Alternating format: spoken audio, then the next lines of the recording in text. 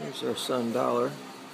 He's almost seven years old, English Bulldog, and he loves to eat rice, and he gets turkey, and he gets um, carrots, and he loves that food. And he has an awesome body because of it. He also eats blue buffalo. Yes, I'm on a good diet. I just want to say I love my food, and I eat, eat, eat. Yes. Thank you guys. My middle name's Fat Boy, by the way. Yes. My first name is Dollar. And I love turkey, rice, and carrots. Can you see them in there? Yes, it's so, so good.